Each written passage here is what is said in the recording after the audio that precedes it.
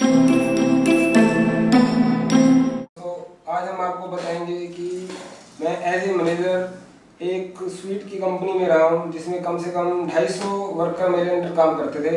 और हम उनको देखते रहते थे कि कैसे वो स्वीट्स की अलग अलग डिशेस बनाते हैं कैसे कैसे कितनी सफ़ाई का ध्यान रखते हैं, कितना नहीं रखते आपको ये मैं बताना चाहता हूँ कि आप कोई भी स्वीट्स अगर बाज़ार से खरीदते हैं तो सावधान हो जाइए। आप अपने घर में अपने साफ़ सुथरे ढंग से बनाइए।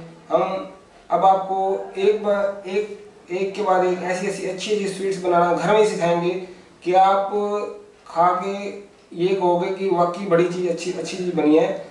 इसे सबसे पहले हम आपको ये बताएँगे कि स्पंजी रसगुल्ला जो पनीर छेना का बनता है, वो कैसे बनता है।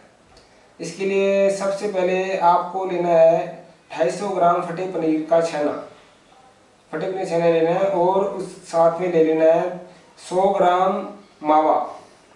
दूध का ही घर में फाड़ के दूध का ही आपको गर्म करके, गर्म करते करते करते जब दूध सूख जाता है तो उसका मावा तैयार हो जाता है। वही मावा आपने घर में तैयार करना है, बाज़ार का बिल्कुल नहीं लेना। और उस पनीर के छेने को आपने ले लेना है थोड़ा सा और थोड़ा सा मावा ले लेना है और उसके अंदर थोड़ा एक चम्मच अरारोट का पाउडर मिला देना है। ठीक है? उसके बाद उसके आप छोटे छोटे गोल गोल पेड़े बना लेने हैं और पीसीस बना के रख लेने और कढ़ाई में रिफाइंड ऑयल ले लेना है, बिल्कुल साफ़, ताज़ा वाइट वाला और उसमें वो तल लेना है। हल्का हल्का तलना है, ज़्यादा तलना नहीं ब्राउन नहीं करना।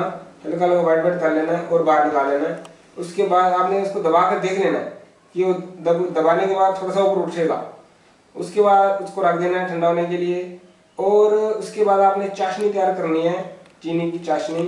बिल्कुल, जब चीनी की आधा किलो चीनी ले लेनी है और उसमें ढाई सौ ग्राम पानी मिलाकर उसकी चाशनी बना लेनी है और चाशनी को थोड़ा पतला कर देना है।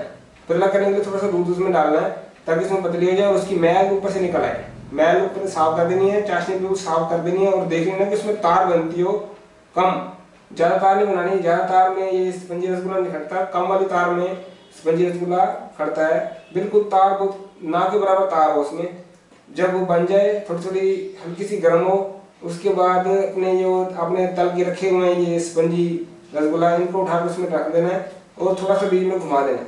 आप देखेंगे कि वो स्पंजी रसगुल्ला उसमें, उसके अंदर रस भरने के बाद फूल गया। फूल गया और उसको आपने निकाल देना है और फ्रिज में रख देना है। जो ठंडा होने के बाद आप खा सकते हैं। स्पंजी रसगुल्ला आपके तैयार है। Okay, thank you very much.